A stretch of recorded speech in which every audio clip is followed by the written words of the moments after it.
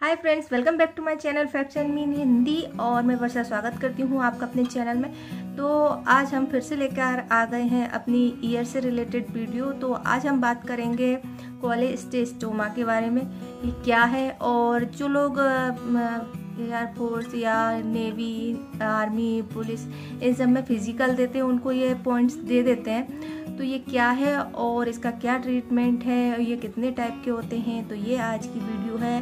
Video अच्छी लगे तो लाइक शेयर एंड सब्सक्राइब कीजिए। यदि आपकी कोई क्योरी है तो आप कमेंट्स कर दिए पूछ सकते हैं और आप चाहें तो इंस्टाग्राम पे मुझे फॉलो कर सकते हैं, वहाँ पर भी कमेंट्स कर सकते हैं। तो चलिए वीडियो शुरू करते हैं। तो ये भी एक कान में होने वाला प्रॉब्लम है। हालाँकि ये कोई सीरियस प्रॉब्लम नहीं होता है। और ये एक तरह की आउट ग्रोथ होती है, ज़्यादा मतलब आपका जो कान होता है, उसके अंदर एक ग्रोथ होने लगती है जो जिसकी ज़रूरत नहीं है। इसे नॉन कैंसरस गठान कह सकते हैं, मध्य कान की गठान कह सकते हैं। तो ये एक्स्ट्रा ग्रोथ होती है हमारे कान के अंदर, उसे कहते हैं कोले स्टेस्टोमा तो ये क्यों हो जाता है और कितने तरह का होता है, इससे क्या नुकसान है, ये वीडियो है तो जो हमारा कान होता है, उसके अंदरूनी हिस्से मतलब मिडिल ईयर में ये इस तरह की गठाने बन जाती हैं। वैसे तो ये बहुत छोटी होती हैं, कोई प्रॉब्लम नहीं करती है, पर धीरे धीरे करके ये बड़ी होने लगती हैं। तब ये आपकी जो कान की हड्डियाँ होती हैं मिडिल ईयर की हड्डियाँ होती हैं, उन पर प्रेशर बनाने लगती हैं। उसकी वजह से हमें बहुत सारे प्रॉब्लम्स होने लगते हैं।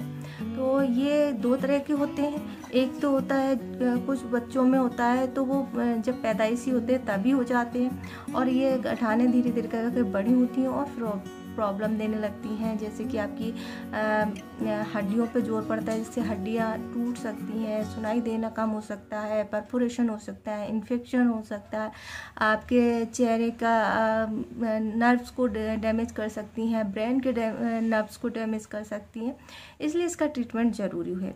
पर ये बहुत ज़्यादा जल्दी असर नहीं दिखता है। धीरे धीरे करके जैसे जैसे इसकी ग्रोथ बढ़ती जाती है वैसे वैसे इनका सिम्टम दिखाई देने लगते हैं। कान दर्द होने लगता है, चक्कर आने लगते हैं माई फेशियल प्रॉब्लम देती है।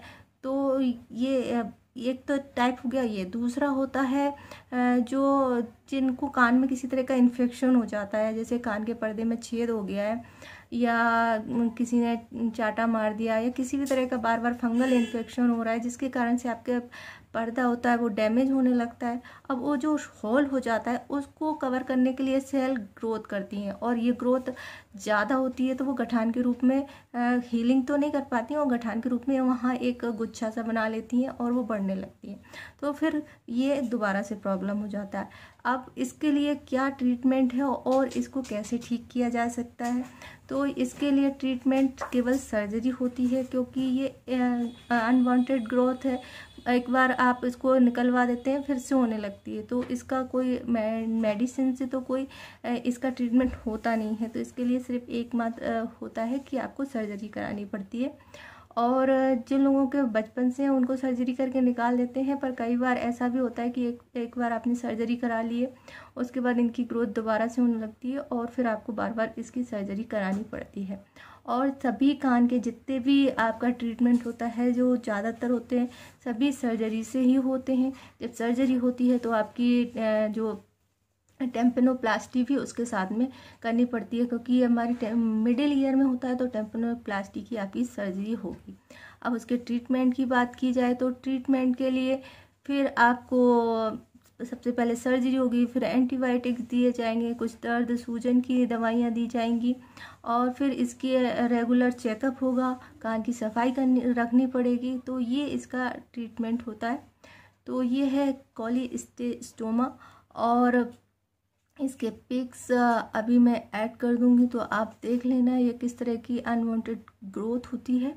और तो जो कॉलेज टेस्टोमा है, वो होने के क्या क्या कारण हो सकते हैं, वो मैं बता रही हूँ। सबसे पहला होता है इन्फेक्शन इन्फेक्शन को जब हमारा बॉडी हील करने की कोशिश करता है तो उसमें सेल्स एक दूसरे को जोड़ने की कोशिश करती हैं, पर्दे को भरने की कोशिश करती हैं, जिसके कारण से ये ग्रोथ हो जाती है। दूसरा होता है साइनस जिन लोगों को साइनस रहता है, उनको सर्दी बनी रहती है, और इसके कारण से आपके कान के पर्दे में इन्फेक्शन ट्यूब में रहता है, पानी आता है और छेद हो जाता है तो वो रीज़न वही हो जाता है। सर्दी जुकाम जिन लोगों को ज़्यादा होता है, उनको भी यही प्रॉब्लम आती है। और यू स्टेशियन ट्यूब में यदि कोई क्षति हो जाती है, उसमें डैमेज हो जाता है, तब भी ये इसके सिम्टम देखने को मिलते हैं और कान के पर्दे में खिंचाव होता है।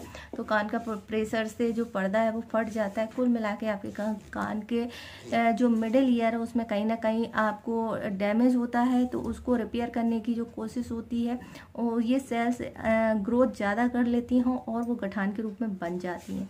तो ये इसके कुछ कारण होते हैं। जिसके कारण से ये कोलेस्टेस्टोमा होता है। इसके कॉम्प्लिकेशंस की बात की जाए तो क्या क्या कॉम्प्लिकेशंस हो सकते हैं? सबसे पहले है कि आपका ईयर ड्रम होता है, वो डैमेज हो जाता है। दूसरा है, आपकी जो बोन है, उनमें इन्फेक्शन हो सकता है, टूट सकती हैं, इसके कारण से आपकी हेयरिंग लॉस हो सकती है। तीसरा है, जो आपके ब्रेन है ब्रेन की भी कुछ बोन्स हैं, उनको इन्फेक्टेड कर सकता है, उनको डैमेज कर सकता है। आपके चेहरे की नसों को नुकसान पहुँचा सकता है, जिसके कारण से चेहरा टेढ़ा हो सकता है पैरालाइज्ड हो सकता है, और कान की जो हड्डियाँ वो टूट सकती हैं।